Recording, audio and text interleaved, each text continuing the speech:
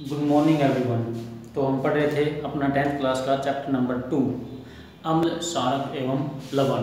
पहली वीडियो में मैंने अम्ल, सारक और लवण को शुरू किया था और उसमें सूचक पढ़े थे हमने कि प्राकृतिक सूचक क्या होते हैं और मानव निर्मित या संश्लेषित सूचक क्या होते हैं।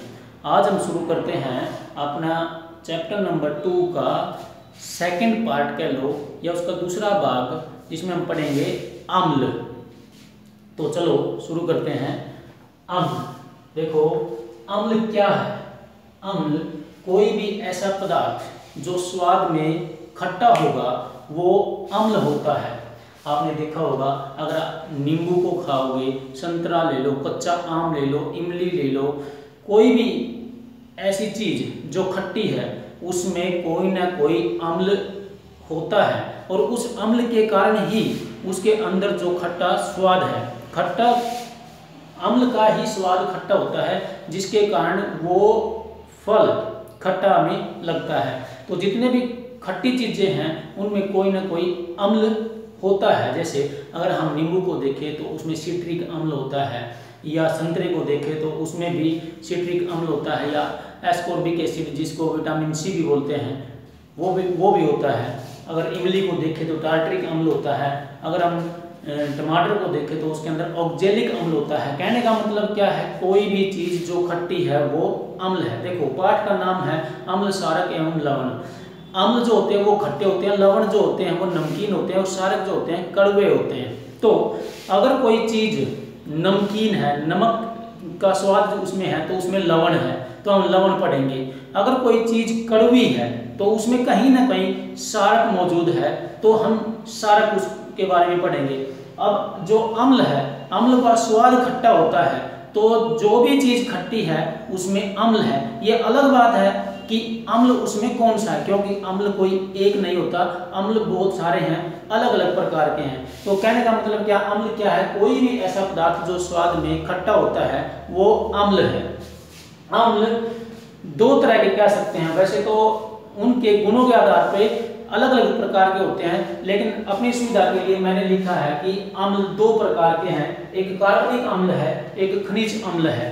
कार्बनिक अम्ल ऐसा अम्ल जो पेड़ पौधों और जानवरों में मिलता है, उसको बोलते हैं कार्बनिक अम्ल। जैसे संतरे के अंदर संतरा खट्टा होता है, उसमें जो अम्ल मिला, इमली के अंदर जो अम्ल है, या दही के अंदर जो अम्ल है, नींबू के अंदर जो अम्ल है जो पेड़ पौधों या जानवरों में मौजूद होता है, वो अम्ल कहलाता है, कार्बनिक अम्ल।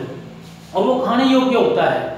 ठीक है? और वो प्राकृतिक होते हैं, प्रकृति में मिलते हैं। मानव ने उनको नहीं बनाया। कार्बनिक अम्ल को मानव ने नहीं बनाया है। वो प्रकृति ने दिए हैं हमें। मतलब वो या जानवरों में मिलेंगे या पेड़ पौधों में मिलेंगे। दूसरा, दूसरे प्रकार का जो अम्ल है, वो खनिज अम्ल। पृथ्वी में जो खनिज होते हैं, खनिज बहुत सारे हैं। जितने भी जो खनिज जैसे लोहा, सोना, चांदी, तांबा, हाइड्रोजन, ऑक्सीजन, ये सब खनिज है।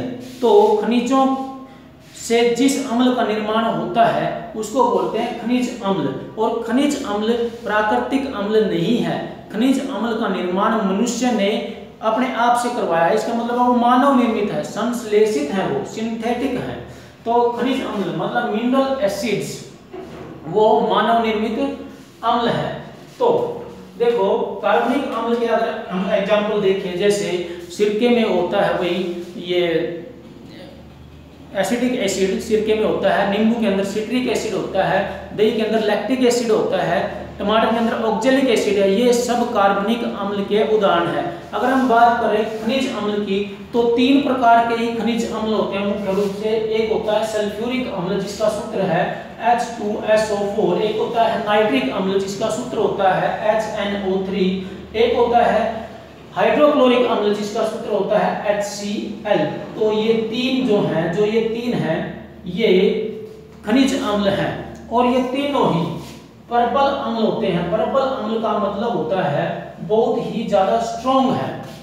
खाने योग्य नहीं है। हम इनको कंज्यूम नहीं कर सकते, जबकि जो कार्बनिक अम्ल होते हैं, उनको हम कंज्यूम कर सकते हैं। उनका हमारे ऊपर इतना ज़्यादा प्रभाव नहीं पड़ता हमारा स्वास्थ्य के ऊपर इस, इनका बुरा प्रभाव नहीं पड़ता। लेकिन जो खनिज अम्ल होते हैं, वो बहुत ही ज़्यादा खतरनाक होते हैं।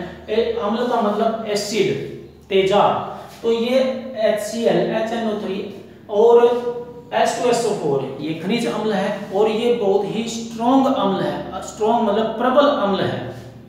जिनकी क्षमता बहुत अधिक होती है। तो ये तीन प्रकार के खनिज अम्ल हैं। एक खनिज अम्ल और है, जिसको बोलते हैं कार्बोनिक एसिड कार्बोनिक अम्ल कार्बोनिक अम्ल, याद रखना कार्बोनिक अम्ल वो खनिज अम्ल है, लेकिन वो वो प्रबल अम्ल नहीं होता मतलब वो स्ट्रॉन्ग नहीं होता, एक एक्सेप्शन है। है तो वो खनिज अम्ल कार्बोनिक अम्ल कार्बन लिख देता हूँ मैं कार्बोनिक अम्ल। ये है तो खनिज अम्ल, लेकिन ये दुर्बल अम्ल होता है, प्रबल नहीं होता। अब देखो, लिखा गया प्रबल और दुर्बल अम्ल। प्रबल का मतलब होता है स्ट्रॉन्ग स्ट्रॉन्ग एसिड स्ट्रॉन्ग का मतलब पता ही है मीनिंग का स्ट्रॉन्ग क्या होता है? स्ट्रॉन्ग मतलब पावरफुल जिसकी क्षमता अधिक है। जो ज़्यादा स्ट्रॉन्ग है तो उसको बोलते हैं प्रबल अम्ल या जैसे एल ये प्रबल अम्ल है। क्यों? क्योंकि इनके पावर स्ट्रॉन्ग है। और जो कार्बनिक अम्ल होते हैं ये होते हैं दुर्बल अम्ल। तभी तो हम इनको कंज्यूम कर सकते हैं। दुर्बल अम्ल। इन, मतलब इनकी क्षमता कम होती है। जितने भी कार्बनिक अम्ल हैं जो पेड़ पौधों और जानवरों में मिलते हैं वो सभी दुर्बल अम्ल होते हैं और यही कारण है कि वो पेड़ पौधे और जानवरों में मिलते हैं। अगर वो प्रबल अम्ल होते तो वो पेड़ पौधे और जानवरों में नहीं मिलते क्योंकि हमारा शरीर या जानवरों का शरीर अधिक प्रबल अम्ल को बर्दाश्त नहीं कर सकता। उसके बाद बात करते हैं हम सांद्र तथा तनुकृत अम्ल क्या होता है? सांद्र का मतलब होता है कंसंट्रेटेड एसिड सांद्र अम्ल का मतलब है कंसंट्रेटेड एसिड मतलब ऐसा अम्ल जिसमें पानी बहुत कम है। मतलब उससे कम नहीं हो सकता उसमें। कम से कम पानी है उसके अंदर। उसको बोलते हैं सांद्र अम्ल कंसंट्रेटेड एसिड और तनुकृत अम्ल मतलब ऐसा अम्ल जिसमें पानी की मात्रा अधिक होती है, उसको बोलते हैं तनुकृत अम्ल। जैसे ये कह लो, मान लो कोई गाढ़ी चीज़ है, और उसको हमने थोड़ा सा पतला करना है। जैसे कहते हैं ना कि पान, दूध में थोड़ा पानी मिला लो, ज़्यादा गाढ़ा सा दूध है।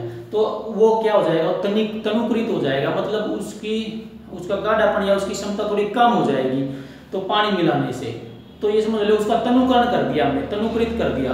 तो एसिड या अम्ल जो होता है, जिसकी क्षमता अधिक होती है, वो सांद्र अम्ल होता है, और जिसकी क्षमता कम होती है। क्षमता मतलब पानी डालने से क्षमता कम हो जाती है, उसको तनुकृत बोलते हैं देखो प्रबल जो होता है प्रबल और सांद्र लगभग समान ही होते हैं। प्रबल जो होता है जिसकी क्षमता अधिक होती है। सांद्र भी वही होता है। जो सांद्र होगा, वो प्रबल होगा सीधी सी बात है। और जो तनुकृत होगा, वो दुर्बल होगा। तनुकृत का मतलब उसमें पानी डाल दिया है तो पानी डालने से उसकी क्षमता हो जाएगी कम तो वो हो जाएगा दुर्बल। ठीक है? हम जो लैब में अम्ल यूज़ करते हैं, अपनी लेबोरेटरी में, उसमें जो कंसनट्रेटेड एसिड आता है, सांद्र अम्ल, उसमें थोड़ा पानी मिला के हम उनका तनुकरण कर लेते हैं ताकि हम अच्छे से उनका प्रयोग कर सकें, क्योंकि सांद्र अम्ल का हम प्रयोग नहीं कर सकते, क्योंकि वो बहुत ज़्यादा खतरनाक होते हैं। उनका प्रयोग करना बहुत ज़्यादा डेंजरस है, खतरनाक है। तो सांद्र का मतलब जिसमें पानी न के बराबर है, कम है, और तनुकृत अम्ल जिसमें पानी बहुत अधिक होता है। ठीक है भाई? अब तनुकरण कैसे करते हैं? देखो, तनुकरण करने के लिए, तनुकरण आप इसका स्क्रीनशॉट भी ले लेना। तो तनुकरण का मतलब होता है पानी को मिलाना। लेकिन एक बात याद रखना, अब जब हम किसी अम्ल का तनुकरण करते हैं तो तनुकरण करते समय हम पानी को अम्ल में नहीं मिलाते। बात याद रखना, पानी को अम्ल में नहीं मिलाएँगे। जैसे ये टेस्ट ट्यूब ले ली, इसमें हमने अम्ल ले लिया, ऊपर से पानी नहीं मिलाएँगे। क्यों नहीं मिलाएँगे? क्योंकि जब पानी को अम्ल में मिलाया जाता है तो उष्मा सेपी अभिक्रिया होती है अत्यधिक उष्मा निकलती है। उष्मा सेपी। अब मान लो इसमें अम्ल है ऊपर से पानी मिला दिया तो पानी जैसे ही अम्ल में जाएगा तो पानी, पानी से तुरंत वाष्प बन जाएगी और वाष्प बनने से जो ये अंदर का अम्ल है ये एकदम वाष्प के साथ बाहर आ सकता है झटके से जिससे हमारे कपड़ों को और हमारे शरीर को नुकसान पहुँच सकता है। तो हम तनुकरण कैसे करते हैं? तनुकरण करने का दूसरा तरीका पेपर में भी आया है कि अम्ल के तनुकरण के लिए हम जल को पानी में नहीं मिलाते, जबकि अम्ल को पानी में मिलाते हैं। ऐसा क्यों? ऐसा इसलिए क्योंकि जब भी अम्ल को पानी में मिलाया जाएगा तो उसमें से भी अभिक्रिया होती है। अगर पानी को अम्ल में मिला दिया तो देखो, पानी मिला, मैंने बताया कि पानी मिलाया, पानी अंदर जाएगा तो एकदम ज़्यादा उष्मा शोषी, उष्मा अभिक्रिया होगी। तो उष्मा के साथ जो पानी वो भाप बन जाएगा वो भाप झटके से बाहर आती है तो साथ में सकता अमल को भी अपने साथ ले आए और हमारे कपड़ों पे या हमारे शरीर पे कहीं भी गिरेगा तो हमें नुकसान हो सकता है। तो हम क्या करेंगे? हम पानी को टेस्ट ट्यूब में ले लेंगे, पहले जल को ले लेंगे। देखो ये ले लिया हमने। अब इसमें इस दीवार के साथ साथ, इसके साथ साथ इसको तिरछी कर लेंगे ना, इसके साथ साथ धीरे धीरे से इसमें पानी मिलाएँगे। अब धीरे धीरे से सॉरी धीरे धीरे से इसमें अम्ल मिलाएँगे।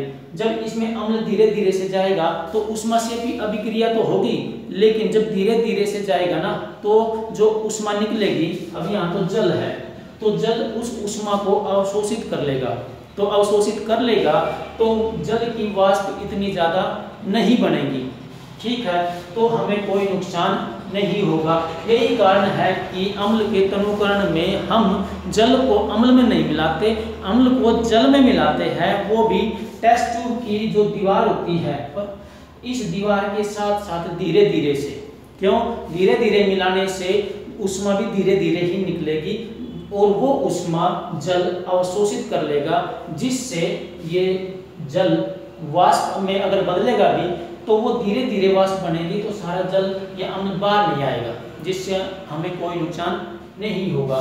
इस प्रकार हम अम्ल का तनुकरण करते हैं। ये बात याद रखना भाई। उसके बाद, ठीक है, जो अम्ल होते हैं, उनका जो जो पैकिंग होती है, उनकी बोतल जो होती है अम्ल की, उनके ऊपर कुछ डेंजरस डेंजर साइन बने होते हैं।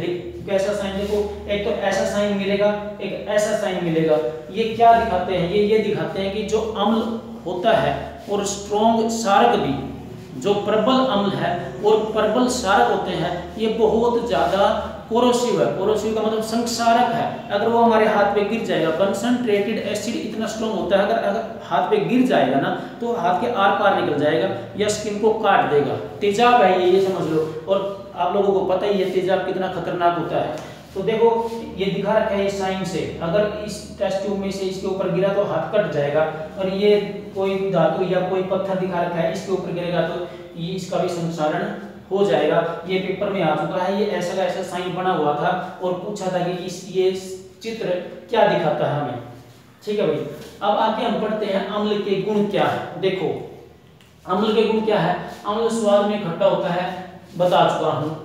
अम्ल नीले लिटमस को लाल कर देता है। हमने सूचक में पढ़ लिया है कि लिटमस पत्र दो तरह के होते हैं। एक लाल लिटमस पत्र होता है, एक नीला लिटमस पत्र होता है। अम्ल जो होते हैं वो नीले लिटमस पत्र को लाल कर देते हैं। अम्ल विद्युत के सुचालक होते हैं। मतलब क्या?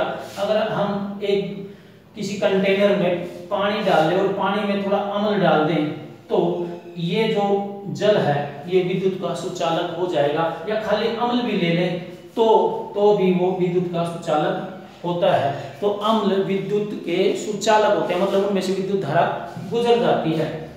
नेक्स्ट है इंपॉर्टेंट है जो, ये है भाई, जल सॉरी अम्ल जो है, वो धातु से अभिक्रिया करके, धातु के साथ अभिक्रिया करके हाइड्रोजन गैस उत्पन्न करते हैं। कोई भी अम्ल है, वो धातु से अभिक्रिया करके हाइड्रोजन गैस उत्पन्न करेगा और उस धातु का लवण बनेगा। तो धातु प्लस अम्ल, धातु लवण बनेगा और हाइड्रोजन गैस निकलेगी। हम एक एग्जांपल ले लेते हैं। जैसे आपने एक टेस्ट ट्यूब ली। टेस्ट ट्यूब में जिंक के थोड़े से पीसीज रख लिए और ऊपर से हमने डाल दिया इसमें सल्फ्यूरिक अम्ल। डाइल्यूट सल्फ्यूरिक अम्ल मतलब क्या? तनुकृत सल्फ्यूरिक अम्ल। सांद्र सल्फ्यूरिक अम्ल का प्रयोग तो नहीं करना है, वो बहुत खतरनाक होता है। उसको हमने तनुकृत कर लेना है। तनुकृत कैसे करेंगे? अभी मैंने तरीका बताया था, ऐसे करेंगे। तो क्या करेंगे? हमने ले ली टेस्ट ट्यूब में, जिंक के कुछ टुकड़े, ऊपर से डाल दिया हमने अम्ल H2SO4 तो अभिक्रिया होगी, इसमें गैस बनेगी, ये गैस निकलेगी, ये इस नली से होती हुई जाएगी। ये हमने ले लिया भाई साबुन का पानी। साबुन का पानी क्यों ले लिया? क्योंकि हमें पता है, जब भी साबुन के पानी में से गैस पास होती है, गैस निकलती है तो साबुन के पानी में बुलबुले आसानी से बन जाते हैं। हम भी तो छोड़ते हैं ना साबुन के पानी के बुलबुले कई बार। तो जब भी इसमें से गैस निकलती है तो साबुन के पानी के बुलबुले बन जाएँगे। तो वो बुलबुले बनाने के लिए हमने इस गैस को साबुन के पानी से गुजार दिया। अब जब इसमें से ये गैस गुजरेगी तो ये बुलबुले बन जाएँगे और इन बुलबुलों के अंदर कोई ना कोई गैस है। अब ये पता लगाने के लिए कि कौन सी गैस है? उन बुलबुलों के पास जलती हुई मोमबत्ती ले जाओ ये लेके गए हम। तो ये जो बुलबुला है, एकदम चट चट की दमनी से फट जाएगा। पॉप साउंड आएगी एकदम। जैसे पटाखा फटता है, ऐसे चट चट की आवाज़ से ये ये जो बुलबुले हैं, ये फट जाएँगे और चट चट की धमनी से हमेशा हाइड्रोजन गैस ही चलती है और कोई गैस नहीं चलती। इसका मतलब हमें पता चल जाएगा कि इन बुलबुलों के अंदर हाइड्रोजन गैस थी। तो हम कह सकते हैं कि धातु ने अमल के साथ अभी क्रिया करके कौन सी गैस बनाई? हाइड्रोजन गैस बनाई है। देख लेते हैं, जैसे जिंक ले लिया हमने Zn प्लस H2SO4 लिया था। तो बना क्या? देखो, विस्थापन अभिक्रिया हो जाएगी। जिंक हाइड्रोजन से अधिक क्रियाशील है। ये इसको विस्थापित कर देगा। ZnSO4 बन जाएगा। हाइड्रोजन गैस निकल जाएगी। ठीक है भाई? कोई भी अम्ल ले लो और कोई भी धातु ले लो, सब में लवण बनेगा। ये अलग बात है कि जो धातु लेंगे, लवण उसी धातु का बनेगा। जैसे अगर हम यहाँ पे सोडियम धातु लेते और H2SO4 अम्ल लेते तो बनता हमारे पास Na Na2SO4 ठीक है भाई? और साथ में हाइड्रोजन गैस निकल जाती। समझ के चाहे अम्ल कोई दूसरा ले लो HCl ले लो HCl के साथ सोडियम धातु ले लो तो बनेगा NaCl ये भी लवण है और हाइड्रोजन गैस निकलेगी। कंकाली समीकरण है, संतुलित नहीं किया, वैसे बता रहा हूँ बस।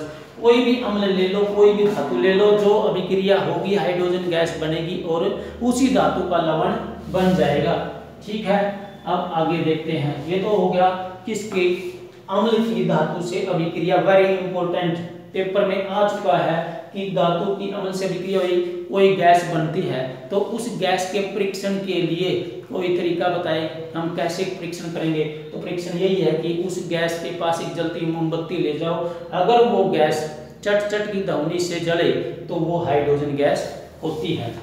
उसके बाद देखो, हमें पता चल गया कि अम्ल धातु से भी क्रिया करता है, लवण और हाइड्रोजन गैस बनाता है। इसलिए दही के, दही को, सिरके को, नींबू का रस या संतरे के जूस को, इनको कभी भी धातु के बर्तन में नहीं रखना चाहिए। क्यों? क्योंकि हमें पता चल गया कि इन सभी चीज़ों में अम्ल होता है और अगर हम इनको धातु के बर्तन में रखेंगे, जैसे तांबे के बर्तन में रख दिया तो तांबे के बर्तन के साथ ये अभिक्रिया कर लेगा और उसमें कोई जहरीले पदार्थ का निर्माण कर देगा, जिस जो हमारे शरीर के ऊपर विपरीत प्रभाव डाल सकता है। मतलब फ़ूड पॉइजनिंग हो सकती है हमें।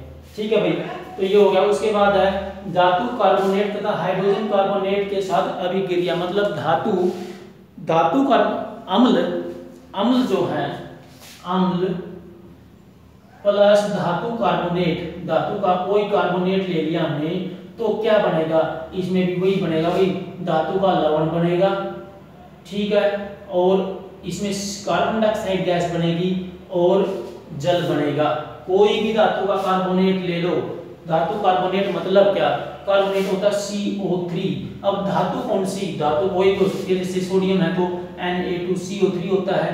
कैल्शियम का अगर धातु है तो CaCO CaCO3 होता है। तो ये धातु का कार्बोनेट है, यहाँ सोडियम का कार्बोनेट होगा यहाँ कैल्शियम का कार्बोनेट होगा तो ये कैल्शियम कार्बोनेट, ये सोडियम कार्बोनेट। तो कोई भी धातु का कार्बोनेट कार्बोनेट ले और उसकी अम्ल से अभिक्रिया करवा के देखो। जैसे हमने ले लिया सोडियम कार्बोनेट Na2CO3 या कैल्शियम कार्बोनेट ले लो।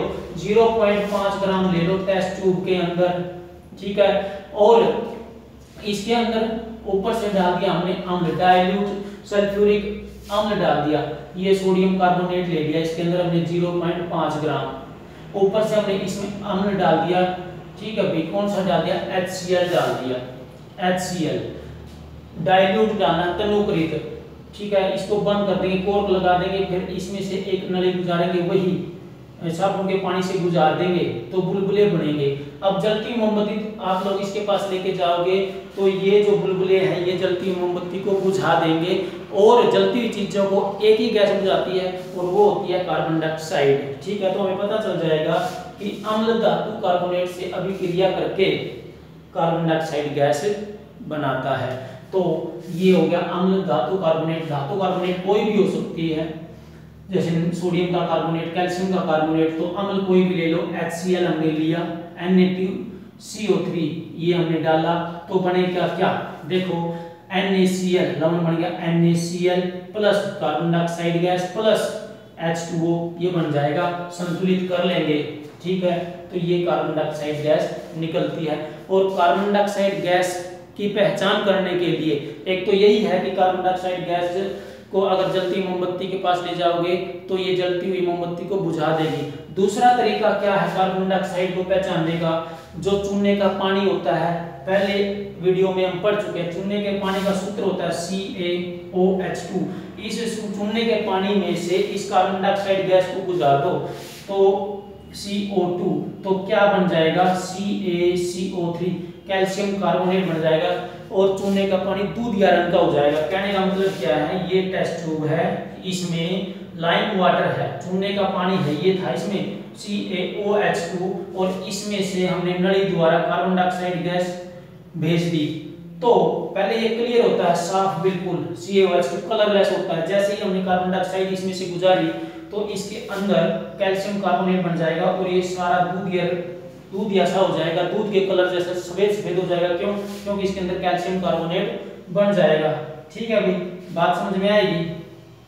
कैल्शियम कार्बोनेट और H2O ये बन गया। कैल्शियम कार्बोनेट के कारण ये दूध ऐसा दिखाई देगा। ये ये जो अभिक्रिया है, ये कार्बन डाइऑक्साइड के परीक्षण के लिए प्रयोग की जाती है कि हम कैसे बताएँ कि जो पैदा हुई है गैस वो कौन सी है कार्बन डाइऑक्साइड है कि नहीं? जो गैस बनी है, उसको चूने के पानी से गुजार दो। अगर चूने का पानी दूध या हो जाए तो समझ लो वो गैस कार्बन डाइऑक्साइड गैस होती है। अगर हम इस अभिक्रिया में कार्बन डाइऑक्साइड गैस को इसमें गुजार, गुजारने से ना रोके मतलब गुजारते ही रहे, गुजारते ही रहे तो क्या हो जाएगा? C A C O three plus H two O plus C O two और भी गुजार रहे हैं तो बन जाएगा C A H C O three की टू कैल्शियम हाइड्रोजन कार्बोनेट बन जाएगा, और जो दूध गैलन आया था वो समाप्त हो जाएगा. क्यों? क्योंकि ये तो पानी में आगुलनशील था, इसलिए दूध गैलन बन गया था. अब ये जो बना है, अत्यधिक कार्बन डाइऑक्साइड गुजारने से जो बनता है, वो बनता है कैल्शियम हाइड्रोजन कार्बोनेट और ये पानी में घुलनशील होता है, इसलिए दूध गैलन उसका समाप्त हो जाएगा. ठीक है, ये बात याद रखना। अब आगे हम देखते हैं। सोडियम, देखो, धातु कार्बोनेट के साथ और हाइड्रोजन कार्बोनेट के साथ भी यही अभिक्रिया होती है। यहाँ धातु कार्बोनेट था, हाइड्रोजन कार्बोनेट क्या होता है? जैसे, ये तो कार्बोनेट तो CO3 होता है, हाइड्रोजन कार्बोनेट HCO3 होता है तो आगे धातु लगा तो कोई भी, जैसे NaHCO3 तो ये होगा सोडियम का hydrogen carbonate, sodium hydrogen carbonate. Calcium hydrogen carbonate. कोई भी धातु लोगे तो उसका हाइड्रोजन कार्बोनेट, उसका कार्बोनेट। तो अब ये हाइड्रोजन कार्बोनेट अम्ल के साथ अभिक्रिया करेगा तो यही अभिक्रिया होगी सेम मतलब लवण बनेगा कार्बन डाइऑक्साइड गैस बनेगी और जल का निर्माण होगा। ठीक है भाई, ये हो गया। नेक्स्ट अगर अम्ल, सारक से अभिक्रिया करे, अम्ल है आप लोगों के पास। अम्ल और सारक जब अभिक्रिया करते हैं तो लवण और जल का निर्माण होता है। देखो, अम्ल का जो प्रभाव होता है और जो सारक का प्रभाव होता है, वो बिल्कुल उल्टा होता है, एक दूसरे के विपरीत होता है। अब देखो, हमने इन दोनों को आपस में मिला दिया तो सारक क्या करेगा?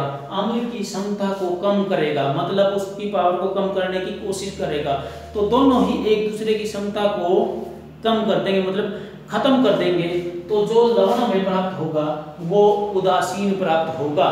तो इसलिए इस अभिक्रिया को उदासीनीकरण अभिक्रिया कहते हैं। पेपर में आता भी है कि उदासीनीकरण अभिक्रिया क्या है? उदासीनीकरण अभिक्रिया का मतलब है किसी अम्ल या सारक के बीच अभिक्रिया जिससे लवण और जल प्राप्त होते हैं, उसको बोलते हैं उदासीनीकरण अभिक्रिया। क्यों? क्योंकि इनमें दोनों की क्षमता मतलब दोनों की पावर समाप्त हो जाती है और चीज़ बन जाती है, जो वो होती है उदासीन। ठीक है भाई? जैसे अम्ल ले लो HCl और हमने सारक ले लिया NaOH तो बनेगा क्या? NaCl लवण बन गया और साथ में बन गया H2O ये बन जाएगा भाई, ठीक है? NaCl लवण है H2O बाहर निकल जाएगा, ये एक उदासीनीकरण अभिक्रिया होती है। देखो, इसमें होता क्या है?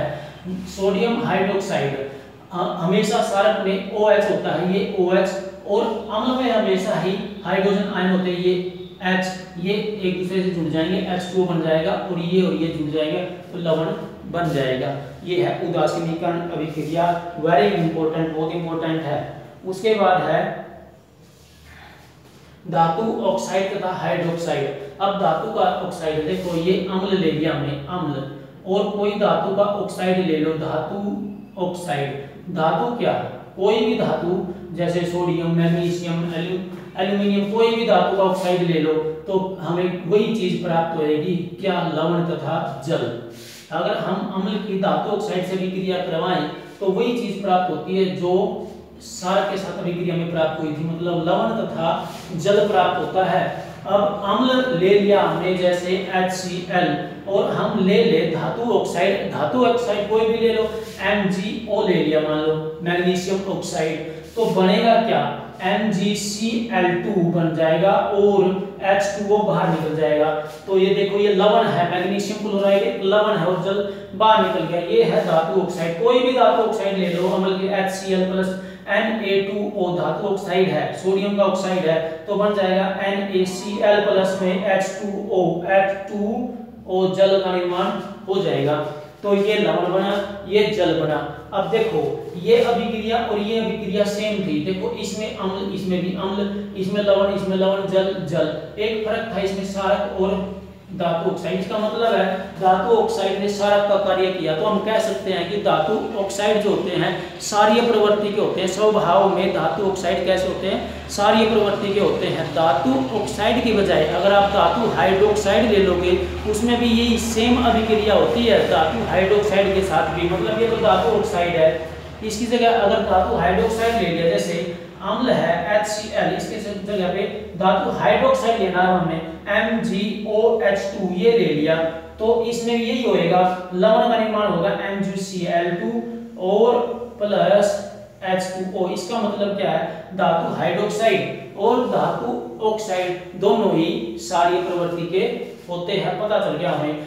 ये देखो, ये सारी प्रवृत्ति का है, इसलिए इसका प्रयोग एंटीसिड्स के रूप में करते हैं। एंटीसिड्स का मतलब है प्रति अम्ल, प्रति अम्लता जो हमारे पेट में हो जाती है। कई बार अत्यधिक खाना खाने पे हमारे पेट में जलन हो जाती है तो उस जलन को दूर करने के लिए हम कोई टैबलेट खाते हैं। तो वो जो टैबलेट होती है, वो प्रति अम्ल की बनी होती है और वो प्रति अम्ल इसका बना होता है मैग्नीशियम हाइड्रोक्साइड का ही। मैग्नीशियम हाइड्रोक्साइड से अधिकतर प्रति अम्ल बनाए जाते हैं। जैल हम खाते हैं ना, जब जलन हो जाएगी तो जेलोसिल वगैरह खाते हैं। तो वो जेलोसिल में क्या होता है, उसमें धातु हाइड्रोक्साइड होता है। ये धातु हाइड्रोक्साइड, और ज़्यादातर क्या होता है, मैग्नीशियम हाइड्रोक्साइड। ठीक है भाई? उसके बाद ये तो हो गया। एंटीसिड्स के रूप में प्रयोग करते हैं हम धातु हाइड्रोक्साइड्स को। अब जो अम्ल होते हैं, उनका प्रभाव संसारक होता है। संसारक का मतलब है अगर वो किसी धातु के ऊपर या किसी पत्थर के ऊपर लगातार लगते रहे, लगातार गिरते रहे तो वो पत्थर है धीरे धीरे टूट कर बुरबुरा होकर वो निकलना शुरू कर देगा। मतलब संसारित होकर टूटना शुरू कर देगा। इसलिए हम कह सकते हैं कि अमल का प्रभाव संसारक है। किसी पत्थर पे अमल डाल के देख लो तो वो धीरे धीरे धीरे धीरे उसको गलाना शुरू कर देगा और वो नष्ट हो जाएगा। तो इसलिए हम कहते हैं कि अमल का प्रभाव संसारक होता है। स्ट्रॉन्ग जो सारक होता है, उसका प्रभाव भी संसारक ही होता है। ठीक है? धातु के बर्तन में हम कभी भी अम्ल को नहीं रखते, बात याद रखना। अम्ल को कभी भी धातु के बर्तन में नहीं रखते। क्यों नहीं रखते? मैं बता चुका हूँ कि अम्ल धातु से अभिक्रिया करके लवण और हाइड्रोजन गैस बनाता है। इसलिए धातु के बर्तन में अम्ल को कभी नहीं रखा जाता भाई। तो रखते किसमें है? इसको हम कांच के बर्तन में या सिरामिक के बर्तन में रखते हैं, अम्ल को। ठीक है, बहुत ज़्यादा डेंजरस होता है अम्ल कंसनट्रेटेड जो खनिज अम्ल होते हैं, वो बहुत ज़्यादा खतरनाक होते हैं, इसलिए उनको केयरफुली यूज़ किया जाता है बहुत संभाल के। उनको यूज़ करने से पहले हम उनका तनुकरण कर लेते हैं और तनुकरण कैसे करते हैं, मैं बता चुका हूँ। ठीक है भाई तो ये पूरा हमने पढ़ लिया है अम्ल के बारे में और अम्ल के गुण क्या होते हैं, वो सब हमने पढ़ लिया है। एक बार किताब उठा के उसमें से भी पढ़ लेना। वीडियो को अच्छे से देख लेना, सब कुछ समझ में आएगा, क्योंकि मैं जो पढ़ा रहा हूँ, वो बिल्कुल जड़ से पढ़ा रहा हूँ। उठा के की चीज़ कहाँ से आई, उससे क्या बना, आगे उससे और कौन कौन से यौगिकों का निर्माण होगा, ठीक है? तो कोई भी चीज़ को रूट से ही पढ़ोगे, जड़ से पढ़ोगे, तभी चीज़ें समझ में आती है, ठीक है? तो आज के लिए इतना ही। चैनल को अगर वीडियो अच्छी लगती है, चैनल को लाइक करो सब्सक्राइब करो ओके थैंक यू